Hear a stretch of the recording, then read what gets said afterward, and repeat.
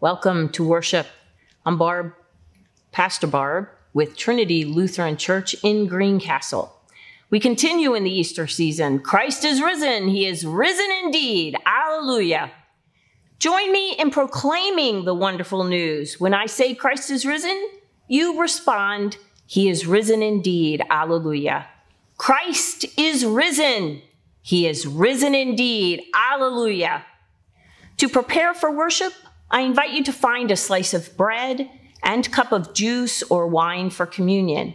If that isn't possible, know that your desire for union with Jesus is Holy Communion. Pause the video while you gather the bread and cup. A copy of the worship plan for today is on our website, tlcgreencastle.org, if you would find that helpful. Click News and Events, then bulletins. We continue to gather by computer to protect the vulnerable in our community. I invite you to join me in the responses to the prayers and readings and singing the hymns. Now close your eyes, take a deep breath, put your cares and concerns at the foot of the empty tomb. Notice God noticing us as we begin worship.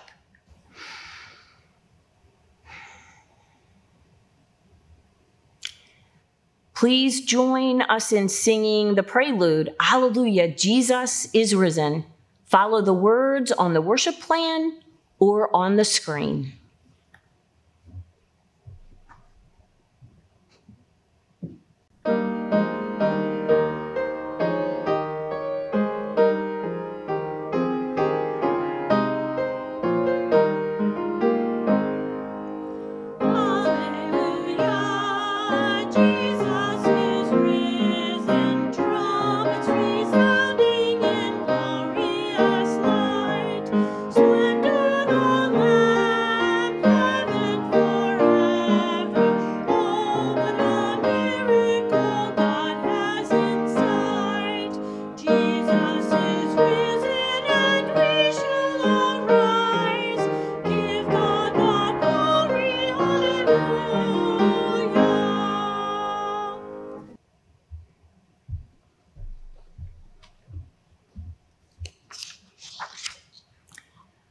Let us pray. Life giving God, you who have created us and sustain us, we come with thanksgiving for these moments when we can ease the pace of our lives and listen for your voice. Create a spirit within us that truly draws us toward you and toward our brothers and sisters, a spirit deep, perceptive, gentle, and bold Clear our minds, open our hearts, and touch us with your presence and your power. And the people of God say, Amen. The grace of our Lord Jesus Christ, the love of God, and the communion of the Holy Spirit be with you all. And a word of scripture. Our first reading is Psalm 116 from the Psalms Now translation by Leslie Brandt. I know that God is here. I know this because with my soul bare and my body naked before him, he looked on me with love and responded to my cry for help. There was a time when I didn't care. I was not aware of any particular need for him. But then I hit bottom. Death itself reached out to embrace me. There was no one else to turn to. I cried out to God in my desperation. I could almost feel his invisible hand encircle me and draw me to himself. Now I am convinced God is here and I shall trust him forever. I will no longer wait for pain or suffering to drive me to him. I will walk in his course for my life. I am committed to his purposes and I intend to carry out that commitment. I can never repay God for his ever present love. I can only dedicate my life to praising him and to serving him wherever I may be. I am his servant and his child. I shall love him forever. I shall proclaim to all the world God is in our midst. Here ends the psalm.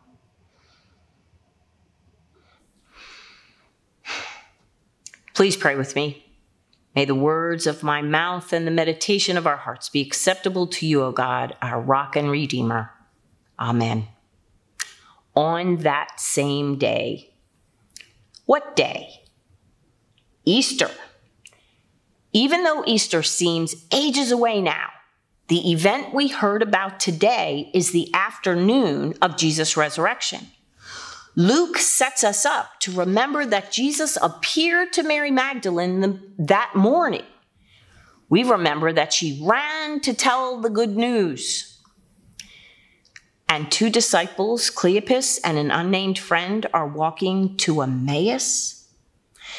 They aren't part of the inner group locked in that upper room, but they are close enough to the action that they know all the details. They were there for the crucifixion. They were there to hear the story from the women. That unbelievable story. That story told in an ancient culture that considered women unreliable witnesses. Jesus is risen. And so the disciples leave. They aren't taken in by this nonsense.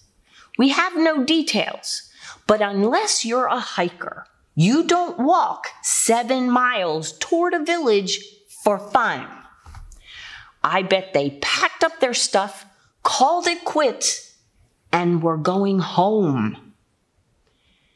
Called it quits because it didn't work out. Jesus died on that cross. All their hopes and dreams for someone to redeem Israel died on that cross. It is possible that their idea for redeeming Israel needed some tweaking. Most Jews of the time expected a Messiah, but that Messiah was going to kick Rome out on her ear so Israel would become a great nation again. No one expected the new thing that God did in response to the terrible violence of the cross. Rather than retaliation, resurrection? Who are you kidding? Jesus connects with the two disciples on the road, and they don't recognize him. Why didn't Jesus show his wounds like he did with the others? Perhaps these folks needed to talk it out, name what they feel, and how they were affected. Did you notice? It boils down to these three little words We had hoped. We understand that kind of disappointment. All of us, at one time or another, experienced the kind of devastating disappointment those three words hold. We had hoped. Our marriage would grow stronger. My loved one would recover our child would kick drugs. We had hoped the bank would give some grace on the loan. I could keep my job. My friend or relative would accept my apology. We had hoped the tumor would shrink. My family would escape the coronavirus, and on and on and on. You can sense the layers of disappointment and dashed hopes, the stories beneath the words, the unmet expectations, the frustration, the feelings of abandonment, the judgment and shame, the grief and loss. Most of us, at one time or another, have walked on the road to Emmaus.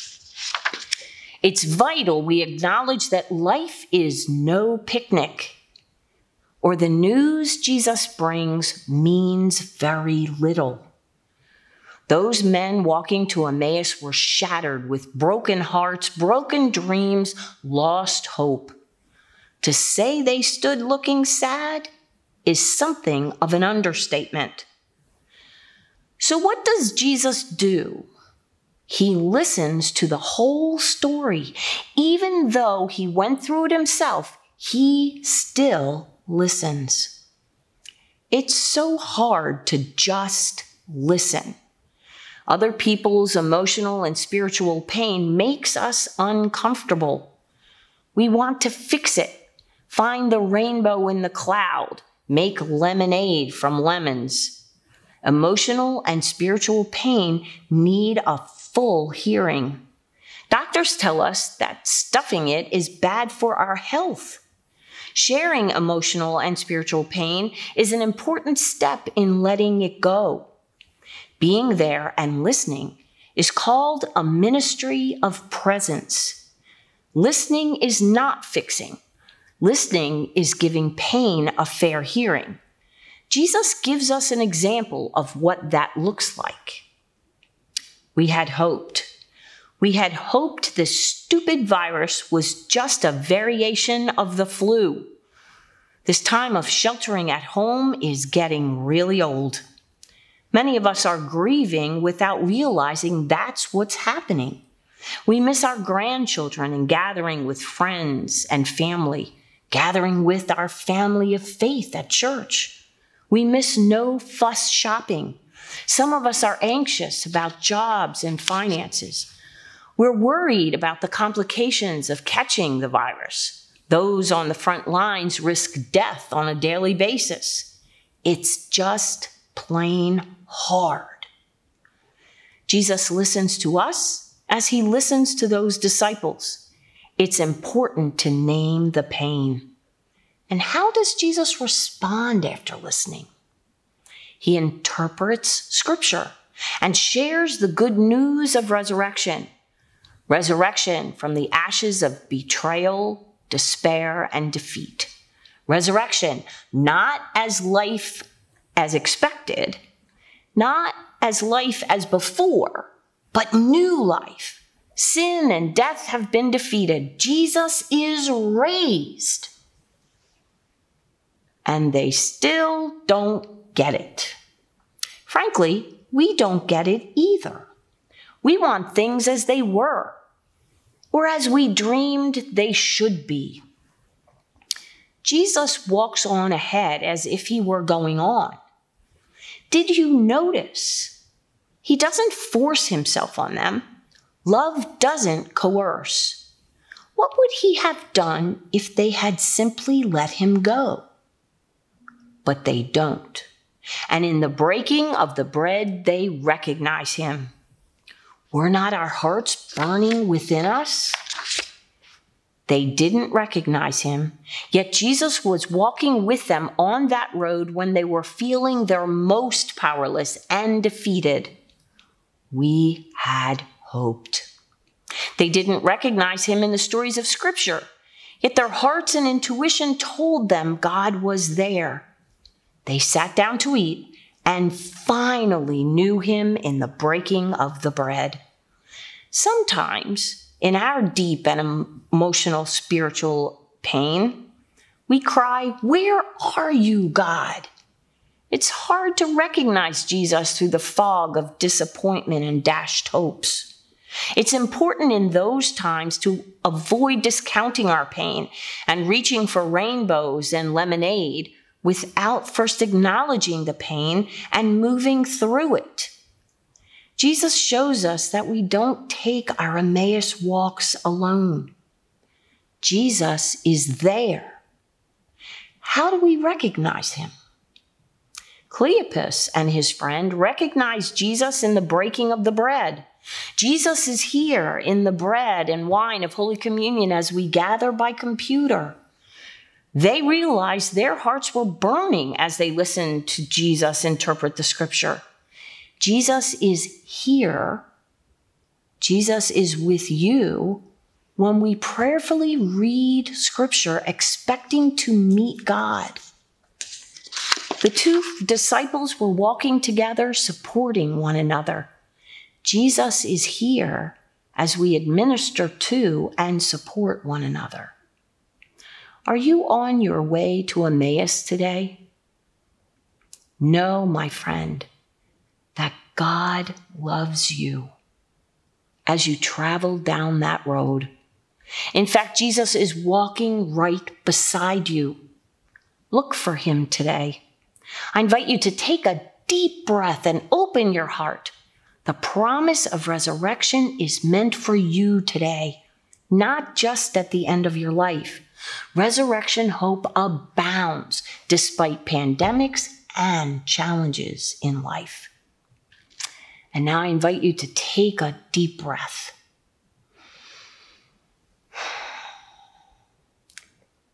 Allow God's love to fill you to the inmost part of your being. Know that in your Emmaus walk, you are not alone. God wraps you in arms of comfort and peace.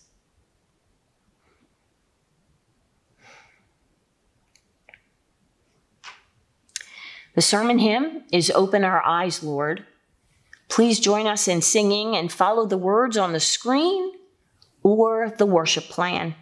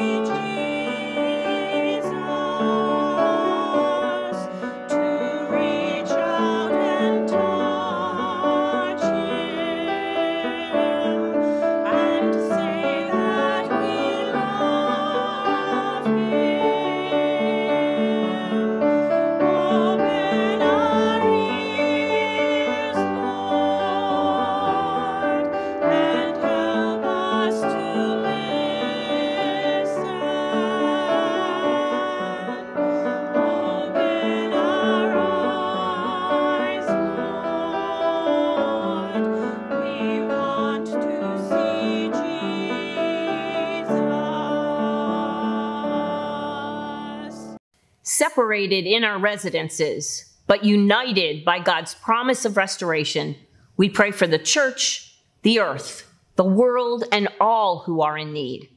When you hear the words loving God, respond, Hear our cry, echoing today's psalm. Come to the church, so burdened by heartache. Give us faith to know your loving presence among us. Open the scriptures to us and nourish us with your word and the breaking of the bread. Loving God, hear our cry. Come to the earth. Bless all the natural world. Renew landscapes, cleanse the waters, and protect the animals. Save your people, especially at this time, from destructive storms and floods. Keep viruses in check for the sake of your beloved humans. Loving God, hear our cry. Come to the nations, preserve all people from war and violence, guide the leaders of nations, our president, our governors, and our legislators toward wise decisions in struggling against the virus and in reviving the economy. Teach all peoples how to share limited resources with those in greater need. Loving God, hear our cry. Come to all who suffer from the virus comfort the mourners, heal the sick, sustain medical workers, empower those researchers who are seeking a vaccine. Stay with us and accompany all those who are isolated or afraid. Give to those with prior ailments and chronic diseases their necessary medical care. We pray especially for those in our hearts and minds at this time. Loving God, hear our cry. As at Emmaus, you joined the meal of the disciples, so come also to our tables. Uphold farmers and all who produce, package, and market our food. Guard the health of those who work at grocery stores. Bless the efforts of local food banks. Enable us to feed the children who have relied on food given out at school. Loving God, hear our cry. Walk with us on our roadways, whether marked with sorrow or joy, and receive our petitions, both sad lament or fervent praise. Loving God, hear our praise, prayer, hear our cry. Thank you for those who have died in the faith. including those stricken with the virus, the medical workers who died healing others, and those in our minds and hearts. Accompany us now as you did them, until at the end of all things, we feast at your table with all the saints in glory. Loving God, hear our cry.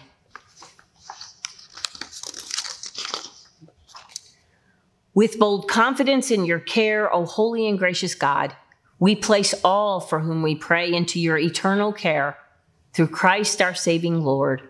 And the people of God say, Amen. The Lord be with you. Lift up your hearts. Let us give thanks to the Lord our God. It is right to give our thanks and praise.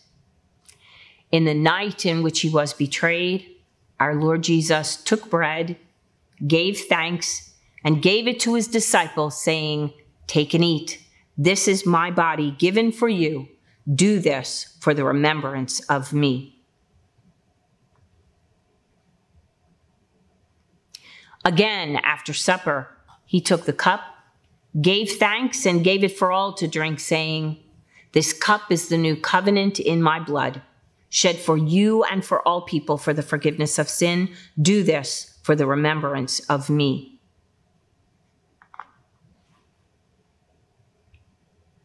Christ is risen. He is risen indeed. Alleluia. In that resurrection hope, we pray the prayer our Savior taught us Our Father, who art in heaven, hallowed be thy name. Thy kingdom come, thy will be done, on earth as it is in heaven. Give us this day our daily bread, and forgive us our trespasses, as we forgive those who trespass against us. And lead us not into temptation, but deliver us from evil. For thine is the kingdom and the power and the glory forever and ever. Amen. Behold the risen Christ, present to us as he promised in the bread and wine of Holy Communion. Receive the bread of life offered for you.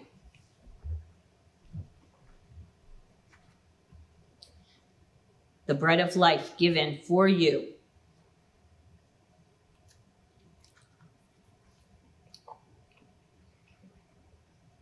The blood of Christ shed for you.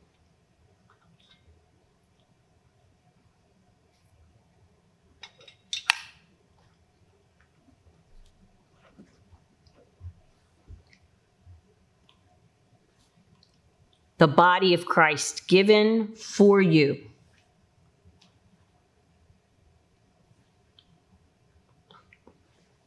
The blood of Christ shed for you.